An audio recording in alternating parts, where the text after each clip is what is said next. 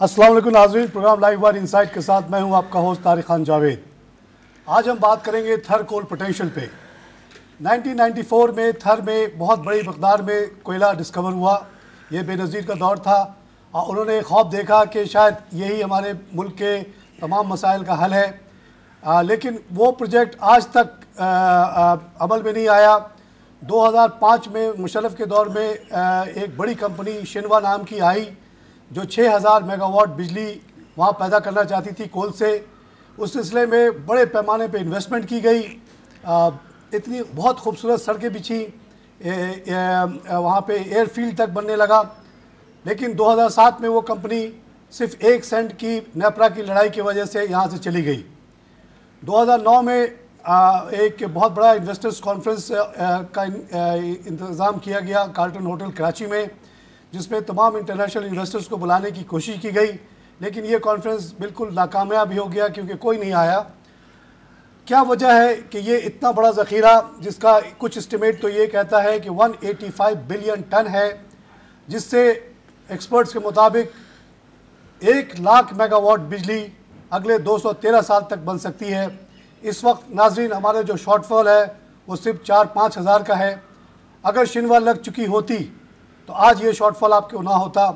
और अगर ये एक लाख मेगावाट बिजली बनना शुरू हो जाए तो पाकिस्तान न सिर्फ़ खुद कफीर हो जाएगा बल्कि साथ साथ आसानी से इंडिया को सत्तर अस्सी थाउज़ेंड मेगावाट बिजली भेज सकता है, जो पाकिस्तान की सबसे बड़ी आमदनी बन सकती है।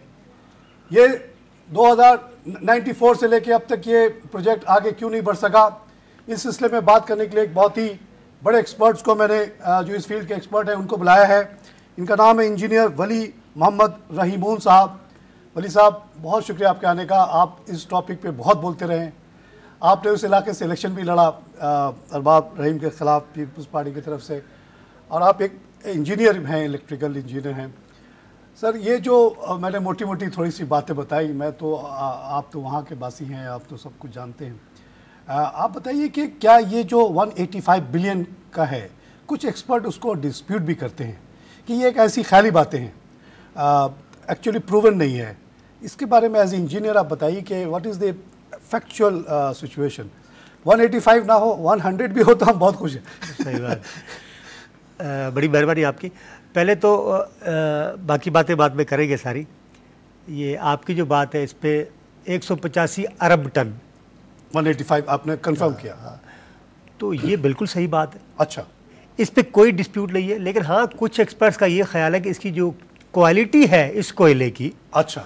वो इंटरनेशनल स्टैंडर्ड के मुताबिक नहीं है। वो एक सेपरेट चीज़ है। इंजीनियर बताइए कि ये जो क्वालिटीज़ में क्या क्या ग्रेड्स होते हैं? हाँ। हमारी क्वालिटी क्या है? हाँ ये ये हाँ, इसमें इसमें दुनिया में जो कोयला मिलता है उसमें तकरीबन छः टाइप्स है। अच्छा। ठीक है तो अगर हम नीचे से रैंकिंग करें तो ये पाँचवें नंबर का है।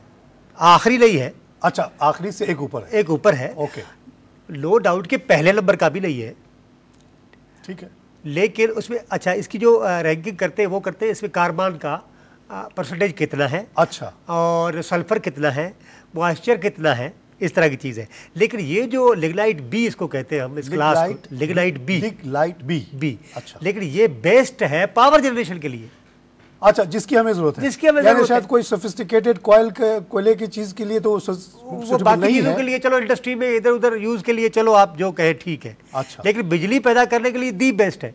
और इसी टाइप का यही टाइप लाखड़ा में मिला था थोड़े मकदार में। उससे हमने बिजली पैदा करके एक आज से कोई पंद्रह साल पहले प्लांट लगाया।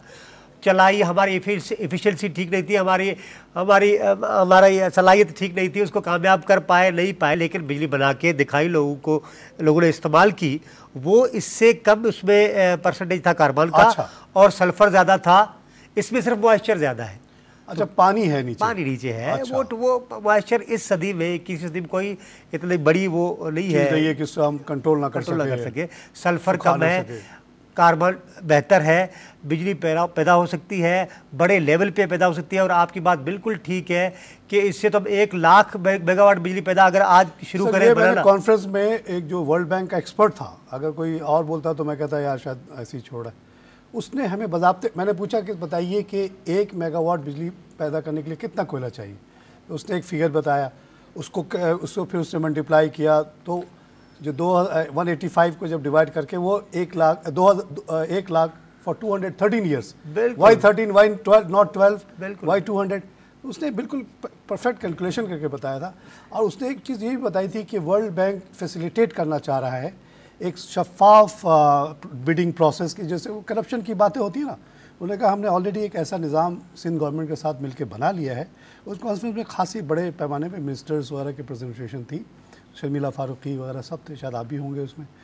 तो उन्होंने कहा कि हमने ऑलरेडी बहुत ही शफाफ जैसे पूरे दुनिया में होता है कि कोई कल को ये ना कहे कि जी उस सिंध गवर्नमेंट के किसी ने मुझसे नाजायज़ ले लिया या मेरा बिड सही था लेकिन उसको वो कर दिया। उन्होंने कहा जो इंटरनेशनल स्टैंडर्ड से हमने बना दिया है आप लोग आए बिड करें और if you qualify you get it तो वो उस आदमी से ये सुना हुआ इसलिए मुझे ये था कि आपने भी कंफर्म कर दिया कि वाकई इतना है। बिल्कुल इतना है बल्कि हम अगर इसकी अगर 20 परसेंट भी यूज़ करें ना 20 परसेंट फिर भी हम पच्चीस हज़ार मेगावाट। अभी हमारी ज़रूरत पाँच हज़ार की है। पाँच हज़ार मेगावाट है कुछ भी नहीं है। ये इतना बड़ा ख़जाना है कि ईरान और इराक के जो तेल के ज़खायर इकट्ठे करें ना फिर भी ये ज़्यादा कीमती है। अच्छा अगर इसको हम ऑयल के लेवल पे लेके जाएँ लेके जाएँ उसकी कीमत निकाले उसकी कीमत निकाले अच्छा। तो हमारा खजाना ज़्यादा है। ये नहीं कंपेयर एक आम लैंग्वेज में आम मेरा भाई रोने को दिल चाह रहा है रोने को दिल सुन के। ये नहीं कि हम गर्मियों में पिस रहे हैं लोग राइटिंग कर रहे हैं। लेकिन इससे तो सिविल वॉर हो सकता है जो बिजली के हालात हुआ ये है। अब देखिए पहले जिस तरह आपने कहा कि एक सेंट पे बिल्कुल सही बात है। वो शिलवा वाले कह रहे थे कि हमें six point five seven cent दिया जाए। और हम कह रहे फाइव पॉइंट सेवन फाइव देंगे एक सेंट का प्रॉब्लम अभी हम चौदह सेंट देने के लिए तैयार हैं। ये नहीं कि उस वक्त अगर सर मैं मैं भी उस ज़माने 2004 और 2007 वगैरह में किसी वजह से जाता रहा हूँ इस इलाके में। अब मैंने वहाँ सी चेंज देखा। आप भी विटनेस हैं उसके। बिल्कुल और वो शिनवा की वजह से सब कुछ था। बिल्कुल रोड वहाँ आ गए हैं टेलीफोन मोबाइल सारे चल रहे हैं पानी आ गया है। तस्वीर मैंने खींची हुई है। कि एयरफील्ड बन रहा है। बिल्कुल बन रहा है। और अभी और बेहतर हुआ है इस गवर्नमेंट में। बदीन से सीधा रास्ता निकाल दिया। सीधा शानदार रास्ता ब्यूटीफुल रोड बिल्कुल सब कुछ हुआ और सिर्फ़ एक सेंट के लिए हमने उस गरीब को भगा दिया। अच्छा उसका कितना लॉस हुआ होगा आप सोचिए। सर आपके हमारे पास यानी कि चीज़ ही नहीं है यानी पैसों से खरीदने के लिए भी बिजली नहीं है। सवाल ये है कि इस लाश को तो एक अजीब लाश है ना कि जी हमें लोड शेडिंग नहीं है लेकिन बिजली महँगी हो गई है। ऐसा नहीं हमारे पास वो वो प्रोडक्ट ही नहीं है जो हमें हमारी कौम को चाहिए। ये नहीं कि पाँच हज़ार मेगावाट इन्वेस्टर जो दुनिया के लोग हमसे अभी सुन रहे होंगे हमारी बात। अब अगर जैसा आप बता रहे हैं हम कंफर्म कर रहे हैं कि इतना हमारे पास कोयला पड़ा हो। लेकिन एक इन्वेस्टर कैसे इस मुल्क में आए जहाँ शिनवा जैसे शरीफ कंपनी को जो हमारे इस पसमानदा इलाके को इतनी तरक्की उसने दी ये अरबाब साहब की वजह से नहीं तरक्की हुई थी शिनवा की वजह से हुई थी। उसके लिए ये रोड बने थे। तो अरबाब वहाँ का सीएम था चलो हाँ वो सीएम था उसको क्रेडिट मिल गया उसको लेकिन एक्चुअली तो वो नहीं था असल तो कोल था। लेकिन उस गरीब कंपनी ने जो इन्वेस्टमेंट किया होगा यहाँ हाँ। वो किया ना उसका? बिल्कुल गया। अब उसको हम कैसे, हुई। अब हम कैसे किसी नए को कहेंगे आ जाओ? अब इसको देखिए जब से हमारी गवर्नमेंट आई है और हम टीवी पे भी आते रहे मैं खुद बात भी करता रहा मेरा एक शुरू से एक ख्याल था आज भी है कि एक ब्लाक वह गवर्नमेंट ऑफ़ सिंध ने खुद गवर्नमेंट ऑफ़ सिंध ने या गवर्नमेंट ऑफ़ पाकिस्तान ने या दोनों ने मिल के एक ब्लाक को डेवलप करे कोयला बाहर निकाले अपने पैसों से प्लांट लगाएँ दुनिया को दिखाएँ ये देख लें। अब आए इन्वेस्ट करें और कमाए। तो अब तो एंग्रो की मदद से आप लोग एक हाँ, एंग्रो के साथ कर रहे हैं। अभी, अभी चार पाँच लोग हैं जो काफ़ी काम उन्होंने किया है। लंदन की कंपनी है एग्रो वाले हैं एक दो और भी है। काम अलहमदिल्ला तीन सालों में बहुत हुआ है लेकिन हमारा शुरू से ये था मेरे से प्रेसिडेंट साहब ने पूछा भी था मैंने बताया भी था हम तीन साल में बिजली पैदा कर लेंगे। लेकिन उसके दस मसले आ गए हमें पॉलिटिकली कई और अब सियासत की या डिस्कशन तो नहीं हो रही लेकिन हमें कई दूसरी चीज़ों में कि उलझा दिया गया। हाँ तो प्रियरिटी हमारी डिस्टर्ब हो गई वरना तीन साल में बिजली हम पैदा कर लेते। अभी डिले हो गया है नो डाउट लेकिन दो में सर से बिजली पैदा बेबसी महसूस होती है कि ये बेनज़ीर का फेवरेट प्रोजेक्ट आप लोगों के तो केटी बंदर केटी बंदर हाँ, आप लोगों की तो ज़िंदगी मौत का मसला है। बिल्कुल। और प्रेसिडेंट हमारा बनता है जरदारी। जी सर। 2008 में। और वो कहता है this is my top priority बिल्कुल है। Still up to today the movement is so so slow यानी हाईएस्ट लेवल पे सपोर्ट होने के बावजूद काम नहीं हो रहा। अब अब एक हज़ार का जो एंग्रो वाले लगा रहे हैं जी हाँ। तो वो अभी सिक्सटी फोर्टी है शायद। जी हाँ। चलिए this is a very good start आपने जैसा कहा कि we can show to the world but जो कुछ शिनवा के साथ हुआ that has deterred major big investors असल सर इसमें पैसे बड़े इन्वॉल्व हैं। सही बात जिस कॉन्फ्रेंस में मैंने सुना था वैसे भी लोगों को पता है कि एक मेगावाट बनाने के लिए शायद 10 मिलियन डॉलर चाहिए होता है। बिल्कुल बिल्कुल। अब हम जब इतने बड़े पैमाने पे बात कर रहे हैं तो बहुत बिलियंस ऑफ़ डॉलर्स की ज़रूरत है। सही बात गवर्नमेंट के पास तो ऐसे रिसोर्सेज नहीं है। मैं सऊदी अरेबिया में तेरह साल काम करता रहा हूँ। सऊदी अरेबिया जैसे रिच कंट्री जब उसने कहा कि जी जहाँ पे पहले से तेल निकला हुआ है खुबर वगैरह में वो तो है। अब जाके रेस्ट ऑफ़ द कंट्री में भी तो ढूंढो जद्दा में दम रियाद में। तो उनके पास पैसा नहीं था। उन्होंने कहा भाई कंसोशियम ऑफ़ कंपनीज़ आए और ये ड्रिलिंग करें। It's very very risky and expensive thing बिल्कुल सही बात है। लेकिन फ़ायदा है। अफोर्ड नहीं कर सकता तो हम कैसे अफोर्ड कर सकते सही बात है। सम और दी अदर आपका और जरदारी साहब का और चीफ मिनिस्टर का चैलेंज ये है कि किसी तरह जो मे, मेगा कंपनीज़ हैं ये छोटे कंपनी का तो बात ही नहीं। जी बिल्कुल कि उनको किसी तरह कन्विंस करें कि जो शिनवा के साथ हुआ और डिक्टेटर के दौर में वो नहीं होगा। सही बात। है यही यही कर रहे हैं और अभी भी सीएम साहब कोरिया गए हुए वह प्रायोरिटी पे ये चीज़ है। कोरिया भी इंशाल्लाह इन्वेस्ट करेगा इस प्रोजेक्ट में। चाइना को भी राज़ी कर रहे हैं। बाकी कंपनीज़ भी हो रही है एग्रो है। इनशाला आगे बढ़ेंगे लेकिन टाइम ज़ाया हुआ है। आपने जो बताया था कि 2005 में शलवा आया फिर साथ में चला गया। और डिस्कवरी कोयले की आपको आप हैरान हो जाएँगे उन्नीस सौ अट्ठासी की है। अच्छा। हाँ, यानी कि अब टाइम देखें।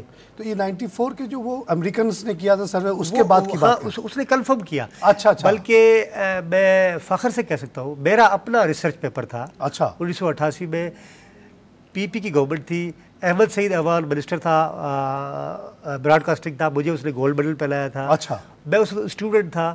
होटल शेल्टर में हमने पेपर पढ़ा था इसी पे अच्छा। पे नो डाउट हमें उस वक्त ये पता नहीं था कि इतना बड़ा कोयला है उस वक्त तो हमने ये कहा था कि कोयले का पाउडर और अंडरग्राउंड वाटर को मिला के एक रेनकिल साइकिल से हम बिजली पैदा कर सकते हैं जो बड़ी मशहूर हुई कि थर की रेत से बिजली पैदा करने का प्रोजेक्ट वो मेरा रेत से- था रेत से बिजली कोयला था। वो दैट इज़ कोयला कोयले का लेयर बिछाना था हमने रेत रेत को मिक्स करके ताकि अच्छा। एब्जॉर्प्शन बढ़ जाए अच्छा। Radiation of solar energy absorb हो अंडरग्राउंड वाटर का टेम्परेचर कम होता है टेम्परेचर डिफरेंस जो है दैट इज़ एनर्जी और अच्छा। टेम्परेचर डिफरेंस को हमने कन्वर्ट करना था बिजली में। बड़ा इंटरेस्टिंग प्रोजेक्ट था मुझे मेडल भी मिला। तो ये उन्नीस सौ अट्ठासी के बाद अभी तक हम उसमें कुछ नहीं कर पाए यानी कि रोने को दिल करता है इसमें कोई शक नहीं है। डिफरेंट गवर्नमेंट्स आई। मैं नहीं कहता कि फला गवर्नमेंट ये हुआ हो गया लेकिन किसी ने काम नहीं किया। मैं लेकिन मैं फ़ख्र से कह सकता हूँ कि अभी तीन साल में जितना काम हुआ है इतना पहले दस साल में नहीं हुआ। ये जब ये, ये 2009 में जो आ, मैं मैंने कॉन्फ्रेंस अटेंड किया था तो हमारे मैं बाहर से आया हूँ पच्चीस साल में बाहर रहा हूँ। वहाँ एक ऑर्गेनाइजेशन है ओवरसीज़ पाकिस्तानीज इन्वेस्टर्स फोरम उसका मैं मेंबर हूँ तो हम लोग हमारी डेलीगेशन भी आई थी। और हमारे ओपीआईएफ ने कहा था वर्ल्ड बैंक वालों से और सिंध गवर्नमेंट से कि सर हमें एक चंक दे दें। We will bring dollars and technology और खैर उस पर भी कोई ख़ास सॉरी टू से कि कोई सिंध गवर्नमेंट की तरफ़ से उस पर फॉलोअप नहीं हुआ। वहाँ तो हमें बड़ी वाह हुई और बड़ी तारीफ़ हुई। टीवी पे आना शुरू हो गए हम इस बात पे। लेकिन कोई सर फॉलोअप नहीं हुआ। ओवरसीज़ पाकिस्तानी के पास बड़े पैसे पड़े बिल्कुल है। अच्छा आपने देखा कि अभी जो हालात हुए मुल्क दुनिया में कि अमेरिका में जो इन्वेस्टमेंट किया वो डूब गया कनाडा में किया वो डूब गया। तो और फिर रिटर्न्स आर वेरी लिमिटेड जी हाँ।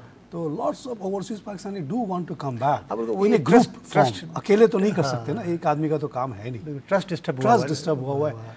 और this would be an ideal place to attract them because ये इतना बड़ा रिसोर्स पड़ा हुआ है उधर उनके पास इतना पैसा पड़ा हुआ है। सर एक एस्टिमेट ये है कि आठ मिलियन जो ओवरसीज पाकिस्तानी इस वक्त हैं जिसमें मैं भी शामिल था कुछ दिन पहले तक और this lot of people are on very high level of salaries and position अब उनमें एक बहुत बड़ी तादाद पाकिस्तान की तरफ़ बड़े कीनली देख रही है क्योंकि वो हर जगह मार खा गए। नाइन इलेवन के बाद वहाँ की लाइफ उनकी ऐसी भी टफ हो गई है। तो अगर कोई आप लोग इस तरह का कुछ ए, उनको एक एरिया दे सके कि भाई यहाँ- पे आओ ये आप करो this is dedicated for you people they can come and they can bring lot of dollars and they have connections as well और इक्विटी तो देनी होती है ना बाकी तो बैंक फाइनेंस वगैरह से हो जाएगा। जी जी। सर इसके पीछे मैं अर्ज़ करूँ ना एक कल्चर होता है हर कौम का। आई एम सॉरी टू से हमारा कल्चर पता नहीं क्यों इस तरह का रिसर्च ओरिएंटेड गौर व फ़िक्र वाला कल्चर नहीं है। हमारे अजीब, आप कोयले को क्या? हम लोग तो एक उसके, उसको लेके बैठे हुए कालाबाग डैम कालाबाग डैम। मैं कह रहा हूँ, इस डिस्प्यूट में जाने की ज़रूरत नहीं है। एक लाख मेगावाट थर्कोल एक लाख मेगावाट सोलर आप विंड और सोलर को आप क्या समझते हो? सर मैंने सुना कि ये घरों से लेके काटी बंदर तक पचास हज़ार मेगावाट की पचास हज़ार पचास हज़ार विंड का और पचास हज़ार झंडा जो है। हमेशा खड़ा रहता है सर हाँ, हाँ। और एक और चीज़ यानी कि हाइडल में कालाबाग डैम को छोड़े दूसरे छोटे छोटे डैम्स और उनको भी छोड़े आप रनवे रिवर इसमें पच्चीस हज़ार मेगावाट हमारे पड़े हुए हैं, वो जाया हो रहे एक एक जो हेड है, flow कर रहा है, उसको आपको घुमाना है बिल्कुल घुमाना है। यानी कि हम गौर और फ़िक्र ही नहीं करते हमारी हमारे रिसोर्सेज ज़ाया हो रहे हैं हमारी प्रियरिटी कुछ और है। यानी कि स्टूडेंट लाइफ से चिल्लाते आ रहे हैं अब तो कबर करीब है लेकिन कमर करीब में कुछ हो नहीं रहा। हो नहीं रहा। बाकी दिस इज़ टू मच जैसे मैं हूँ हम लोगों ने छोटे छोटे इन्वेस्टमेंट्स करके हम वापस आ गए हम लोगों की ख्वाहिश है कि हम कोई कौम के कोई बड़े चीज़ में हम कंट्रीब्यूट कर पाए। जैसे ओवरसीज़ वाले कह सके कि जी हमने छः हज़ार मेगावाट बिजली पैदा कर दिया मुल्क में शॉर्टेज ख़त्म कर दी that would be a great ground for us और मुल्क के लिए भी अच्छा होगा हमारे लिए भी बड़ा अच्छा होगा। एक, एक सॉलिड इन्वेस्टमेंट बिल्कुल। जिसमें guaranteed selling is not a problem बिल्कुल, है ना? बिल्कुल आप कोई भी कारोबार करते हो फ़िक्र ये होती है कि भाई बना तो लोगे बेचोगे कहाँ? यहाँ। बेचना तो मसला ही नहीं। India is ready to buy हाँ बिल्कुल। सही हम तो मेरी इतनी बिजली हमें पैदा कर सकते हैं कि हम बेचे दूसरे मुल्कों को। वर्ल्ड बैंक एक्सपोर्ट तो ये कर रहा था this would become your biggest export आप जो 20 22 बिलियन का वो टेक्सटाइल वगैरह करके खुश हो और रहे अभी हमारा ज़ोर देखे ना सिर्फ़ डायरेक्शन की बात है। हमारे डायरेक्शन सिवाय आयल जलाने के और गैस नेचुरल गैस जलाने जो हमें दी हुई है उसको जलाने में लगे हुए पावर प्लांट गैस पे लगाना पावर प्लांट ऑयल पे लगाना। ओहो। यानी कि इक्कीसवीं सदी में एनवायरमेंट के दौर में इससे बड़ी बेवकूफ़ी क्या होगी? ये 1980 से लेके अब तक जो हम लोग ये अ, इस लॉबी में फंस गए ना कहते हैं जी फ्री में तेल मिल रहा है। मैं एज ए बैंकर आपको गारंटी कर सकता हूँ कभी भी पाकिस्तान को फ्री में तेल नहीं मिला है। नहीं I as a banker use to confirm this L Cs L C confirmation पे हमें इतनी बड़ी फ़ीस मिलती थी because Pakistan government was in such a bad shape वो जो छः महीने का क्रेडिट देते थे ना तो वो आते थे बैंकों के पास कि जी, ये हमने पाकिस्तान को एडनॉक एडनॉक का मैं नाम ले सकता हूँ, ADNOC, Abu Dhabi oil company Saudi oil Aramco. कहता था, जी, हमने पाकिस्तान को छः महीने के क्रेडिट पे भेज दिया, अब तुम एलसी को कंफर्म करो कि अगर पाकिस्तान नहीं देगा तो तुम दोगे, क्या फ़ीस लोगे? हमने बड़े पैसे कमाए सर बस काफ़ी चीज़ें छह छः महीने के क्रेडिट को आप फ्री कह सकते हैं। बिल्कुल सर मैं आज हैरान हो जाएगी। अभी भी यानी कि कोई छः महीने पहले ब्रेक लेना पड़ेगा। जी जी। नाजिन हम लेंगे एक छोटा सा ब्रेक ब्रेक के बाद फिर हाजिर होते हैं।